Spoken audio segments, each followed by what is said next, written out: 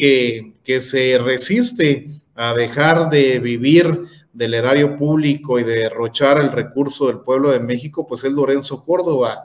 Esta mañana el presidente López Obrador continuó vapuleándolo, sobre todo por una reunión eh, en, esta, en estas vacaciones anticipadas que se tomó a días de dejar la presidencia del Consejo del INE, pues bueno, en esta gira que hace por Nueva York se reúne con Luis Almagro y crea bastante suspicacia, doctor, ¿qué pueden estar hablando estos dos eh, traidorzuelos, estas dos personas totalmente antidemocráticas? Conocemos la función de la OEA en Latinoamérica, conocemos el tipo de persona que es Luis Almagro y tal vez pues eh, pudiera causar algo de, de, sospecha, de duda, lo que puedan estar tramando, para qué se reunieron, cuál fue el tema central. ¿Qué le parece, doctor Valderas?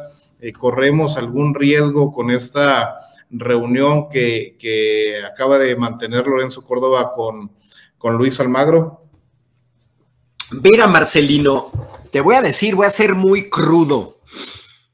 Lorenzo Córdoba me cae muy mal. Creo que aquí no podemos aplicar aquello de que de tal palo tal astilla. Creo que las diferencias abismales con su padre, que en paz descanse, el doctor Arnaldo Córdoba, son abismales. Son de aquí a otra galaxia. Mientras su papá, hombre verdadero de izquierda, con una producción científica de izquierda congruente, pues el señor Lorenzo Córdoba es un junior. Es un junior que se ve que vivió bien y pues entonces le gusta viajar, disfrutar, gastarse el dinero ajeno. Esa es una. Me cae mal por porque nada tiene que ver con su padre.